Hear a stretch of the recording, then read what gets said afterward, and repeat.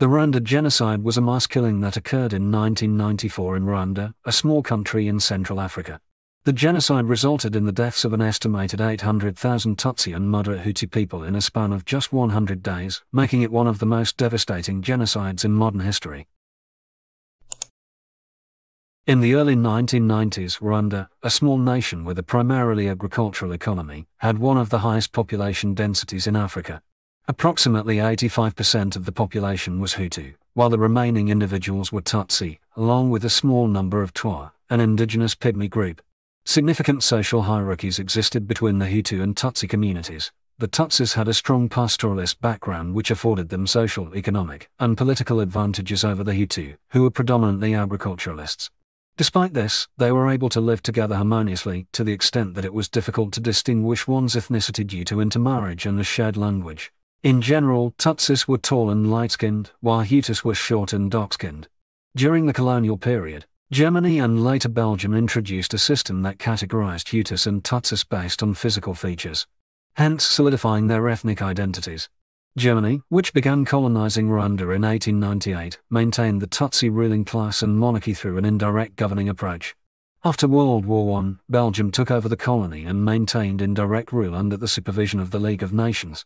The power imbalance and mistreatment of Hutus compared to Tutsis fueled long-standing tensions and allowed the minority to oppress the majority, resulting in violence that predated Rwanda's independence. After the Hutu rebellion in 1959, many Tutsis fled Rwanda, and by early 1961, the Hutus had taken control and established Rwanda as a republic.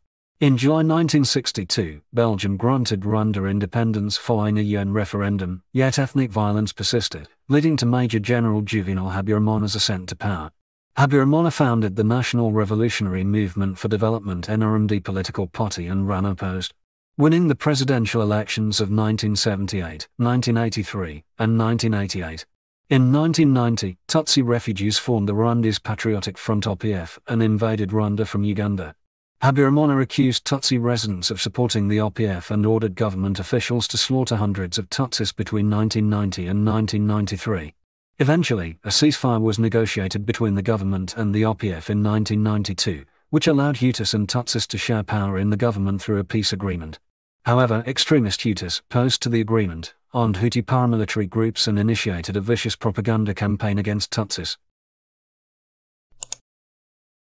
On April 6, 1994, the plane carrying Hutu President Juvenal Habyarimana and Burundian President Cyprien Ntaryamira was shot down. The party responsible for firing the missile is still a matter of debate.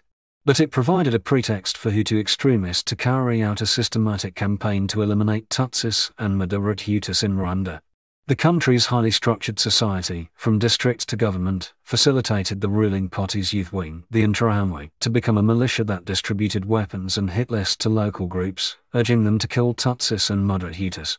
Hutu extremists spread hate propaganda through radio stations and newspapers, encouraging people to weed out the cockroaches, a derogatory term used to refer to Tutsis, and calling for their extermination.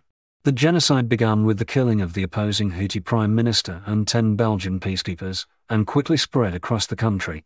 Local leaders called upon Hutus to kill their Tutsi neighbors, which led to the brutal killing of entire families, including Tutsi wives by their Hutu husbands.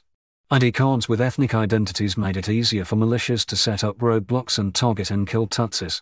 The killings were brutal and indiscriminate, with victims hunted down in homes, churches, and other places of refuge, even by priests and nuns. Tutsi women were systematically and brutally raped. The genocide resulted in the deaths of up to 800,000 Tutsis and moderate Hutus, with hundreds of thousands of Rwandan Hutus participating in the killings.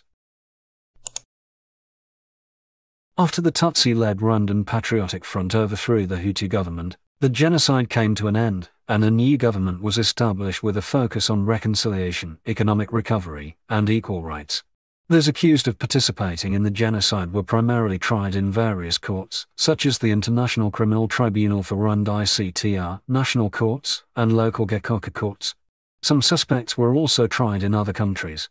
To speed up the prosecution of suspects within Rwanda, Gacaca courts were set up, and dozens of former regime officials were convicted of genocide.